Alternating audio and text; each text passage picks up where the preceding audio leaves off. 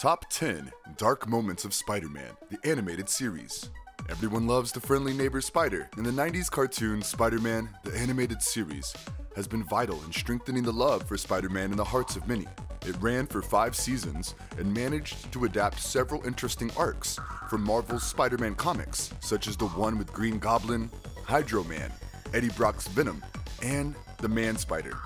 As you may all know, Peter Parker gets bitten by a radioactive spider, turns into Spider Man, dates Mary Jane, fights off enemies, and struggles with balancing his personal life with his superhero life while working as a freelance photographer. However, several episodes from the series have strayed from the lighthearted nature of Spider Man and taken a dive into darker themes with sinister villains, failed clonings, and Spider Man mutating into evil creatures. With one of the most versatile storylines, it is easy to understand why Spider Man is the highest grossing superhero from Marvel. Since Spider Man had the quintessential sad superhero origin story, as an orphan who had to see his beloved uncle die, watching a sad Spidey isn't as out of character as many Marvel newbies might think it is. In this video, we will talk about some of our top picks from the Spider-Man animated series that have tugged on our heartstrings a little more than they should have. Before we go into our explanation, we have a very small request. If you like our content, please support us by subscribing to our channel. This is a small click for you, but for us, it means a lot. Thank you. Let's begin.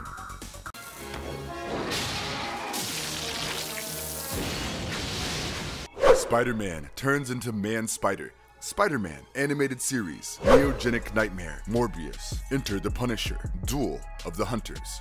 Plagued by a mutation disease, Spider Man reaches out to Dr. Mariah Crawford for a cure. He explains his symptoms of pain to her, and he is pleasantly surprised when Crawford reveals that she has developed a serum that could normalize his blood cells once again. But it would also remove his spider powers. Serum could remove your spider powers or destroy you. She asks him to wait until the completion of the serum, but Spider Man begins to smash through her lab, consumed by the mutation in place. In the end, he takes the serum with himself, even though Crawford mentions how dangerous it may be. Taking this serum could be a big mistake. I'll be careful. Peter Parker goes to the ESU with the serum, intending to test it on his blood externally. He keeps it inside his locker, but he was oblivious to the fact that Michael Morbius was spying on him.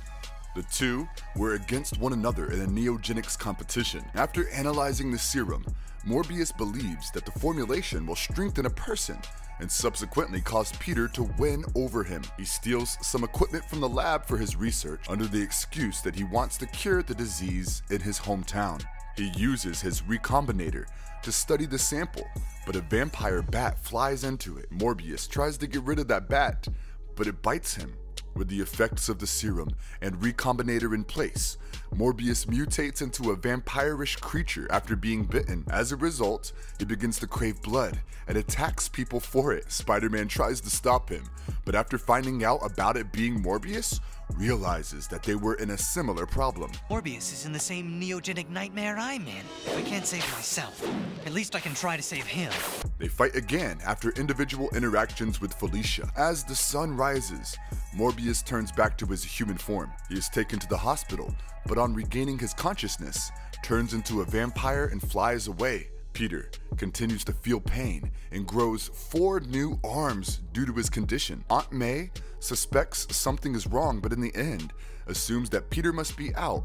Peter realizes that he shouldn't have gone against the advice of Dr. Crawford and should have waited before taking the serum. After Mary Jane calls for a date, finds himself in a tough spot and flees to avoid her. Michael Morbius is on the loose, killing for blood. Spider-Man is declared a criminal as he was responsible for taking Morbius to the hospital, so Spider-Man was held accountable for him missing. The media confuses Morbius with Spider-Man when the former appears outside the hospital. Spider-Man reaches the scene to fight Morbius, who is backed up by the Punisher. Spider-Man is immobilized, but he manages to flee by webbing the Punisher. The three fall into a chase as Spider-Man chases Morbius while being chased by the Punisher. Morbius tries to drain Spider-Man's plasma while looking for a cure for the mutation, but prevents himself from doing so. Punisher fires a rocket launcher at Spider-Man causing the latter to crash into a warehouse. His mutation gets accelerated, and he turns into a huge humanoid spider called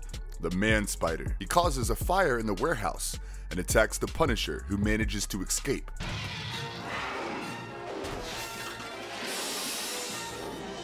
As Dr. Crawford hears the news, she contacts Sergei Kravinoff and asks him to return to New York City to control Spider-Man.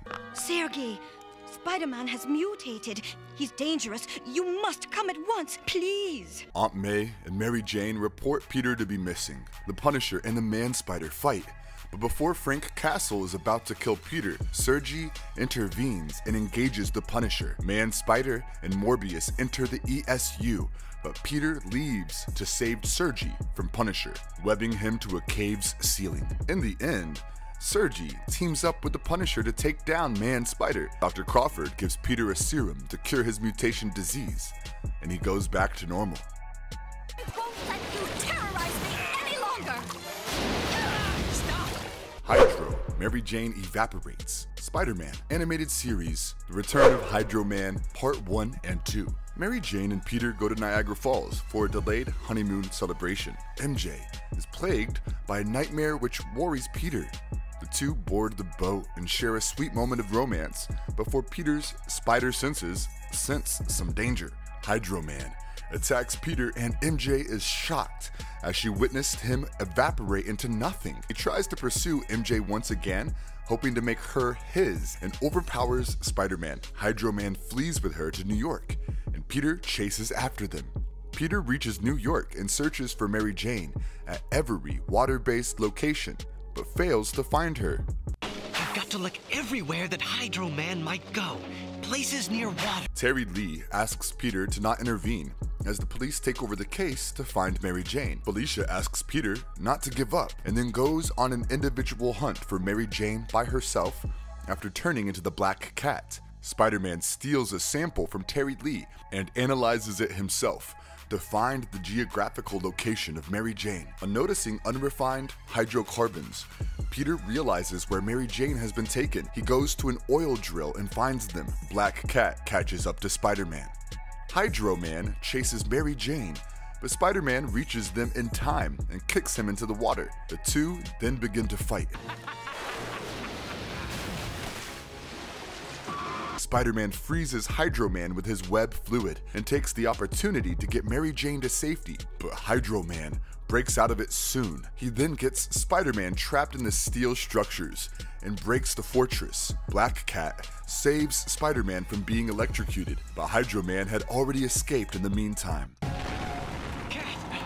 Mary Jane gets arrested for stealing a boat, with which she arrives on shore. Hydro Man attacks the police station and MJ flees. She uses chemicals from a storeroom to send out red fumes for Peter to track her down. Spider Man and Black Cat arrive and fight Hydro Man. Hydro Man turns his water arms into a drill to kill Spider Man. Turns out Mary Jane has the same powers as him, and she knocks him away from Peter using her newfound hydro power. She goes to Terri Lee, who investigates the matter. Peter takes MJ to Dr. Curt Connors, and he tries to unearth her repressed memories about the powers via hypnosis. During the hypnosis, she sees the same events as the nightmare that has been bothering her, where she drowns, is chased by an eye, confronts a clown, and finds herself on a pirate ship. Miles Warren offers the test on Hydro Man as he has trouble rematerializing, but he denies and spies on Aunt May instead. He then uses the intel from Aunt May's phone conversation to find Peter and MJ and attacks them. She materializes into water against her will, and Peter realizes he has to decode her dream if he wants to save her. He goes to a theme restaurant with a pirate ship in his mind, where the receptionist is a character who has appeared in her dream. Peter Parker speaks to him and has a realization, tracks down the wedding dress image to a wedding cake, and the clown to a toy shop. He finds a clown toy when a robot with laser eyes attacks him. He then finds a tunnel and correlates the light at the end to the eye.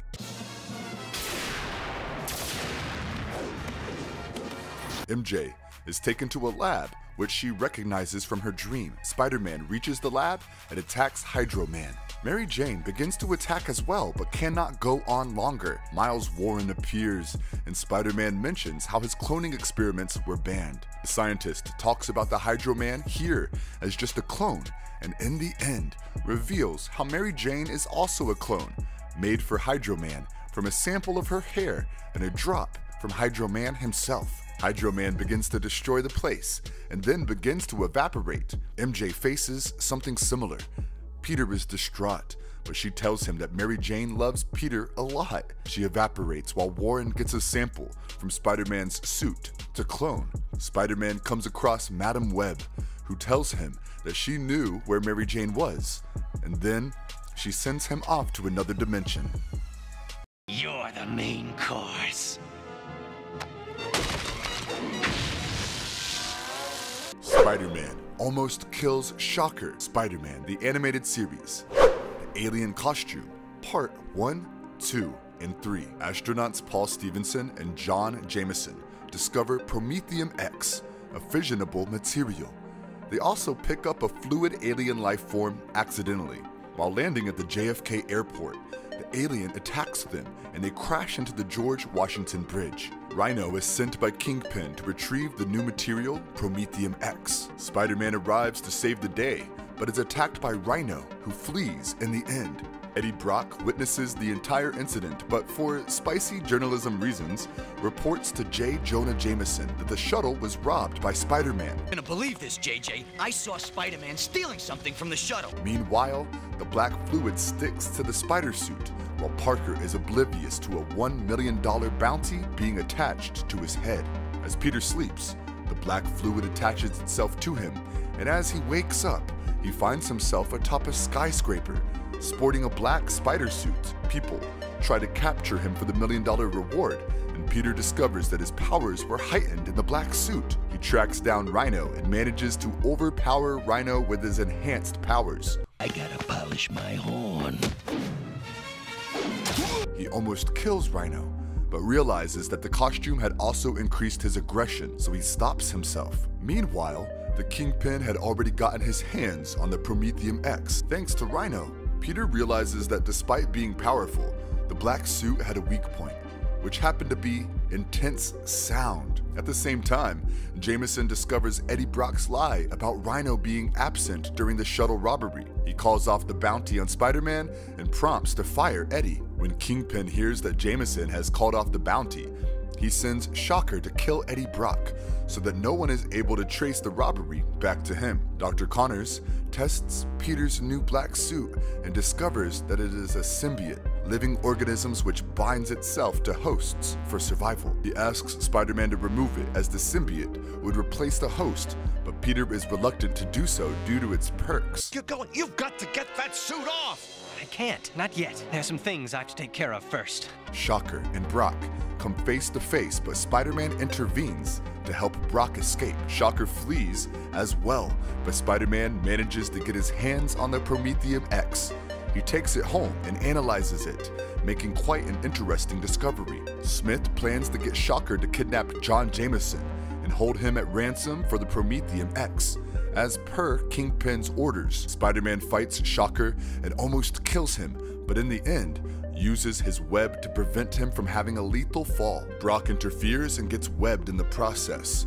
As the church bell rings, Spider Man separates himself from the symbiote using the intense sound. It leaves his body and slithers into the floor cracks. It ends up bonding with Eddie Brock. Spider Man gets ambushed by Shocker and Rhino and is subsequently buried under a pile of rubble. However, Venom, aka Eddie Brock, infused with the symbiote, enters the scene, webs them up, fights Spider Man, unmasks him, and threatens to reveal his identity for vengeance. Spider Man flees, but Venom follows suit. In the end, Spider Man lures Venom into John Jameson's space probe launch site. The nose from it, blasting off, forces turns out to be Spider Man's weapon in the fight, as he uses it to separate Brock from the symbiote. He webs it to the probe and sends it back to outer space. Freak. It wasn't that funny. Venom dies a hero. Spider-Man, the animated series. Venom returns. Cletus Cassidy is a wanted criminal holed up in a building infiltrated by the police. As Spider-Man arrives, Cassidy activates a bomb set to detonate in 30 seconds, obliterating everything within its 200 meter range. Spider-Man throws the bomb high up in the air, causing the explosion to cause minimal damage. Cassidy is taken to custody. Madame Web contacts Spider-Man and warns him of a looming threat about an unstoppable evil who Spider-Man was about to confront. The evil you will soon confront will be unstoppable. An asteroid crashes into Central Park. A nearby couple witnessed it, and near the mass, out of curiosity, the Venom symbiote appears in front of them and attacks them.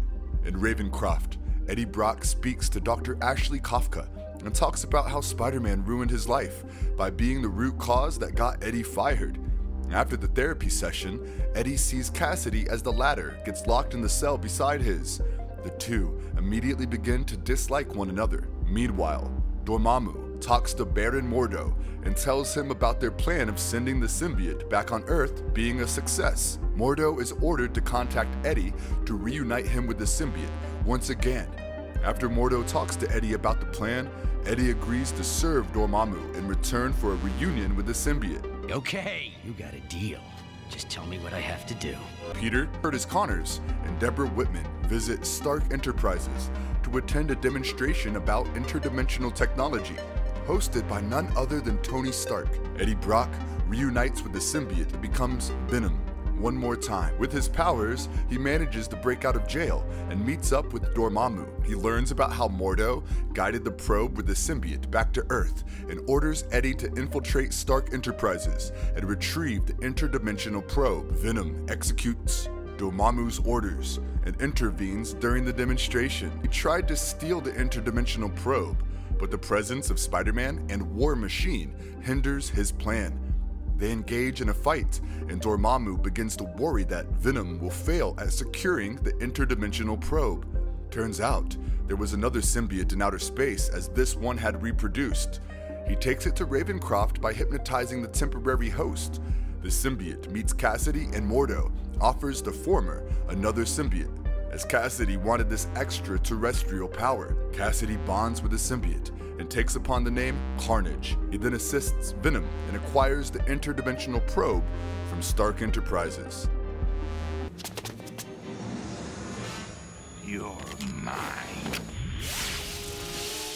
Morbius goes to sleep. Spider-Man, the animated series. Blade, the vampire hunter, the immortal vampire. Michael Morbius is still in the loose as the mutated vampire obsessed with blood and plasma. As he drains a victim, Spider-Man interrupts, and the two fight when Blade the Vampire Hunter joins it, trying to kill Morbius, who flees. Blade pursues him and tries to destroy Morbius, but Spider-Man stops him. Blade fights Spider-Man as he had read in the newspaper that Spider-Man was likely to be a vampire, so he uses garlic gas on him. But after Spider-Man remains unaffected, Blade realizes that he was not a vampire. However, after the fight ends, Spider-Man's mutation accelerates and visits Dr. Connors for treatment. People of New York attack Spider-Man as they think that he is the one responsible for the plasma victims. Agitated, Spider-Man tries to find Morbius, who ambushes him and tells him how he does not want a cure for his mutation due to his desire for remaining immortal. I'm immortal. He then tries to drain Spider-Man of his plasma. Blade arrives at the nick of time. However, Spider-Man stops Blade again from destroying Morbius. As a result, Blade tries to kill him off, but Spider-Man leaves. Vampire Hunter, Whistler, and Blade team up to take Morbius down, but Spider-Man arrives, engaging Blade in a fight. Whistler settles the dust by explaining Blade's origin to Spider-Man, and Spider-Man explains the mechanism of the neogenic recombinator that created the vampire to the others. Blade insists they cannot destroy the device to cure the vampiric mutation in him. Morbius steals the neogenic recombinator, but Blade ambushes him. Morbius gains the upper hand over Blade, almost killing him, but Spider-Man joins the battle, and the two of them take on Morbius, who wants to use the recombinator to turn everyone into vampires. The three of them fight, as Morbius tries to curate chips that run the recombinator when Detective Terri Lee arrives at the scene. Morbius drops her and flies away, and Blade saves the detective from dying. She intends to arrest Blade, but he flees. Hey, hey! Great, now I've lost them all. Morbius escapes from the clutches of Spider Man, so he teams up with Terri Lee and explains the entire situation to her. Morbius searches for elements for his recombinator at Peter's place and the Daily Bugle. J. Jonah Jameson spots him and inquires why Morbius was searching for Parker. Peter realizes Morbius had been at his place after coming back home. Mary Jane comes over, trying to fix a patch in their relationship involving Felicia Hardy, but Morbius overhears the conversation. As Mary Jane leaves, he confronts Peter but falls victim to the trap set by them when Terri and Blade capture him. However, Morbius escapes again, and this time with Aunt May as his captive. She is insurance until I determine you have given me the right information. Blade and Terri's sweet kiss is interrupted by Spider Man, who is enraged over Morbius kidnapping Aunt May and breaks his co workers in heroic actions ties with Blade. He goes to find Aunt May himself and goes to Felicia's house, hoping to find Morbius. As the vampire arrives, he takes Felicia to his hideout and explains his plan of turning everyone into a vampire. Spider Man, Blade, and Terri arrive to save Felicia and take down Morbius, but as they crash through the ceiling, the neogenic recombinator gets activated. To save Felicia from the blast, Morbius takes it himself, but in the end, gets mutated into an even deadlier vampire-like being. He flies away. Spider-Man rescues his aunt, and Felicia is devastated to learn that Morbius's mutation was irreversible at this point. Meanwhile, Morbius goes into hibernation. Now you're mine. No, you're mine.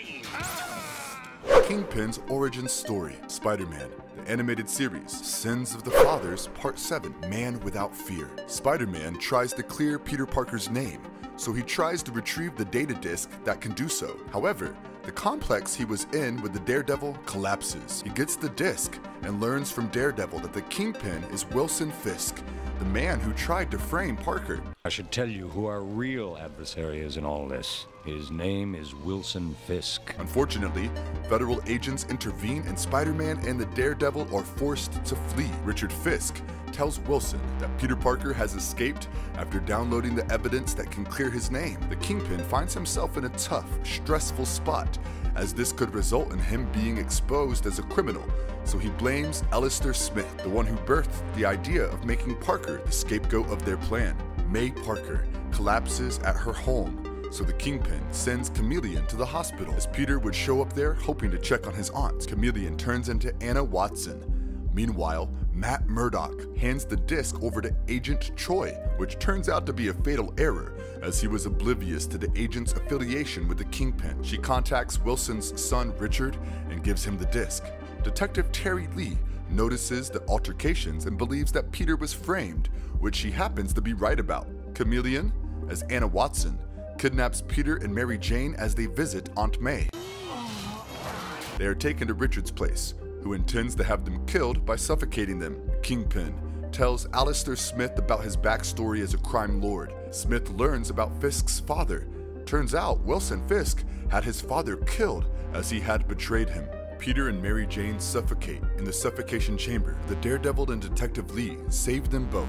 Richard Fisk and Agent Choi are subsequently arrested, but the chameleon manages to escape. However, Spider-Man and the Daredevil pursue his helicopter, the Daredevil fights the Kingpin on reaching Crime Central. You are weak. Together, Spider-Man and the Daredevil manage to overpower the Kingpin, but as Spider-Man exhausts his webbing, the crime lord escapes. After the two chase after him again, they realize that the one in the chopper was a disguised chameleon, while the real Kingpin had successfully escaped. However, all is not lost as Spider-Man retrieves the disc that can prove Parker's innocence. The chameleon, Richard Fisk, and Agent Choi are taken to court and found guilty. Daredevil asks Spider-Man to stay in New York and fight the Kingpin while he investigates Kingpin's illegal antics with Murdock in Washington, D.C. for evidence that can get the crime lord busted.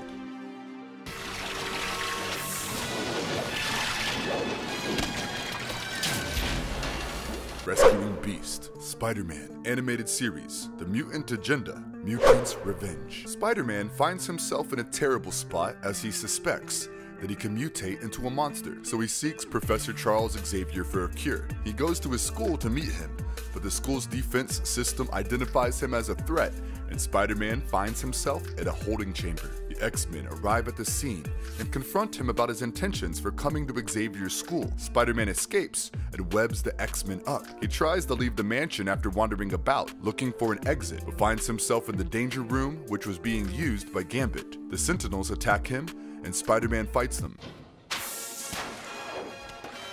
Heads up, guys! Jean Grey turns it off and Professor X arrives.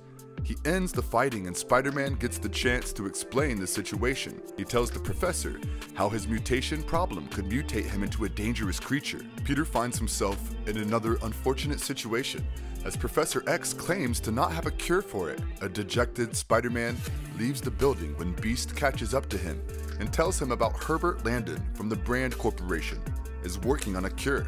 Spider-Man leaves and a team led by Lewald capture the Beast as they were in search for a mutant.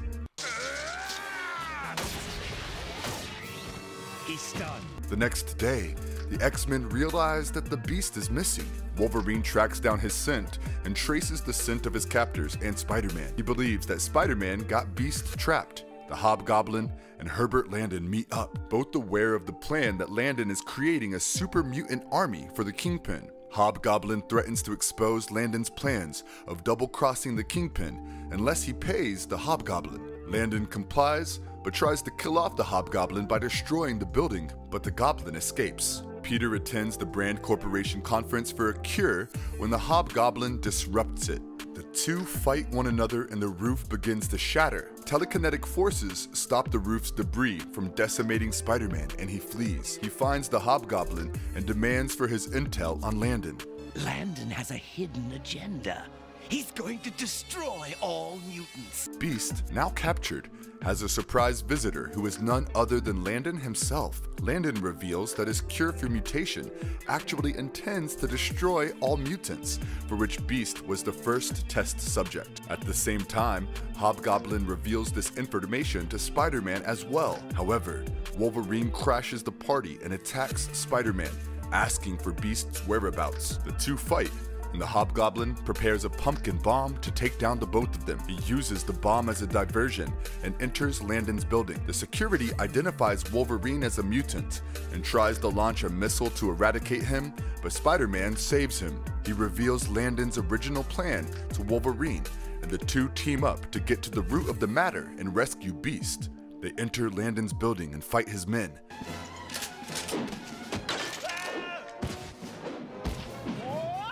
Hobgoblin downloads Landon's research by hacking into his computer, and Spider Man and Wolverine arrive in the nick of time, disturbing the experiment. However, Wolverine almost falls victim to Landon's serum. Lewald reports the Kingpin about Landon double crossing the crime lord as he never wanted to create a mutant's army. Hobgoblin threatens to destroy Landon's life's work by destroying a disc with his research. Landon tries to retrieve the disc, but falls into his own serum, following which Hobgoblin leaves. Spider-Man saves Wolverine from falling into the serum and frees Beast. A mutated Landon appears and begins to absorb the city's electrical energy, growing in size. The X-Men arrive and use the microwave antenna from their ship to retrieve Landon, but he is too heavy. Just too heavy. We're going down. I can't keep her aloft. Genevieve uses telekinesis to save Blackbird, the X-Men's ship, and everyone realizes that she is a mutant who worked with Landon to cure herself of her mutancy. Landon is taken away in an ambulance as his mutancy is reversed. The X-Men and Spider-Man befriend each other. Genevieve is offered to meet up with Professor Xavier, while Spider-Man finds out that Dr. Mariah Crawford was back, so he plans to seek her out for a cure.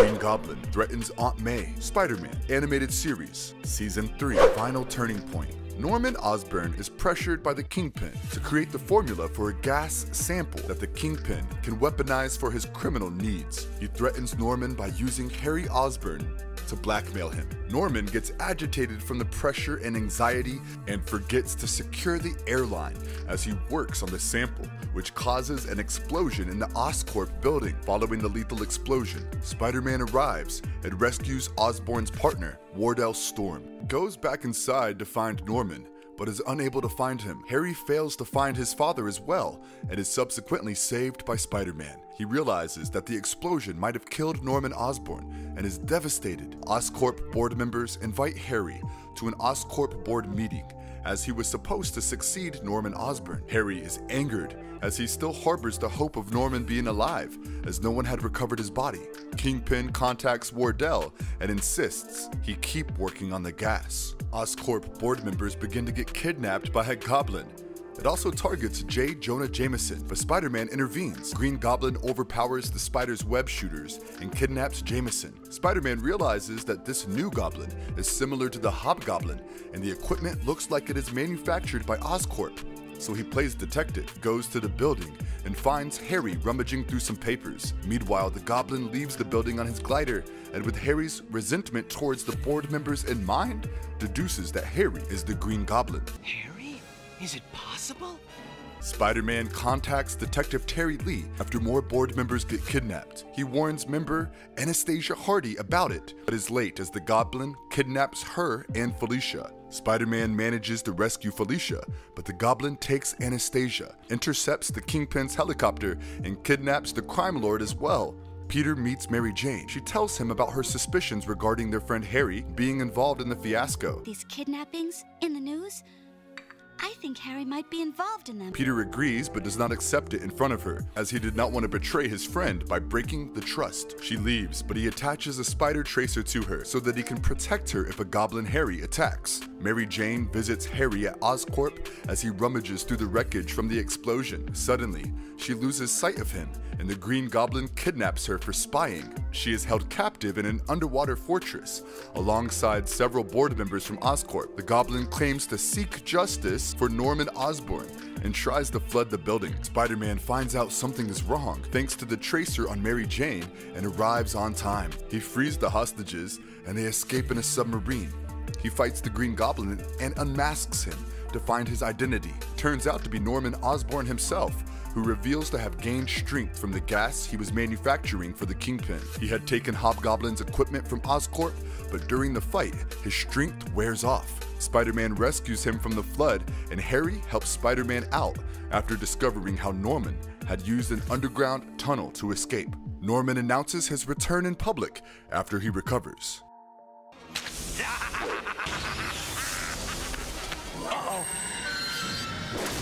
Robbie turns on Spider Man. Spider Man, the animated series. Spider Wars, Part 1. I really, really hate clones. Spider Man is sent to a different dimension by the Beyonder. On reaching, he finds himself in a dystopian New York that has been leveled and destroyed. Beyonder appears in front of him, and he tells Peter that Spider Man is responsible for this destruction. Responsible for this devastation!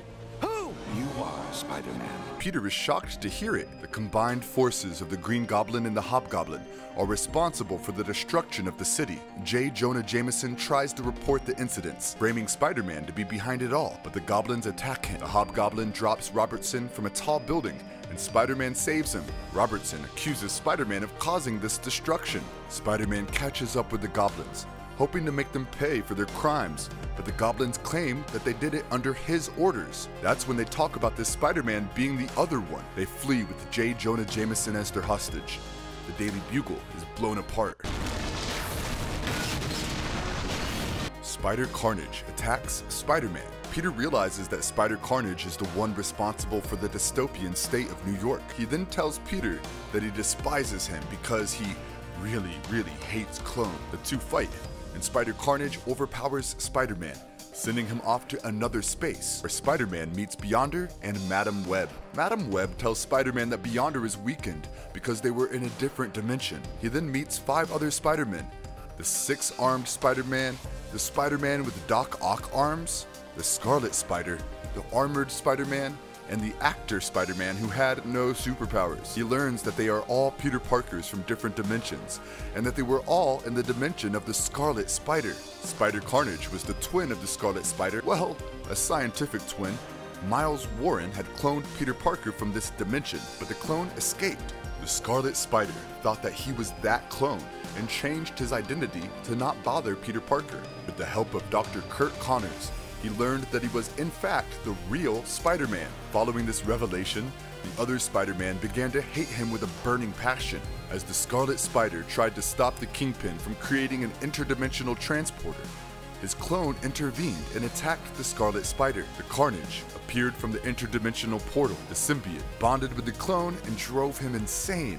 They learned that Spider Carnage plans to cause an explosion that will destroy all the dimensions, so they must team up to stop it. With the main character Spider-Man as the leader, the destruction had already taken place, but the Beyonder had rolled back time and arrived in this dimension to change the future. They leave to take down Spider Carnage, leaving the actor Spider-Man behind. They fight the Kingpin's pawns. Kingpin notices that there were five Spider-Men and orders the goblins to take over. The goblins reach the base and fight the spiders. The armored Spider-Man gets too overconfident and is sent back to Madame Web by the Green Goblin. The others subdue the goblin and catch up with the Kingpin, Spider Carnage, and Alistair Smith. They fight, but the six-armed Spider-Man mutates into the Man-Spider and begins to attack the other Spider-Men. What did you think of these episodes? Did you enjoy the video? If yes, then don't forget to like and comment on this video. Till then, goodbye, and have a nice one.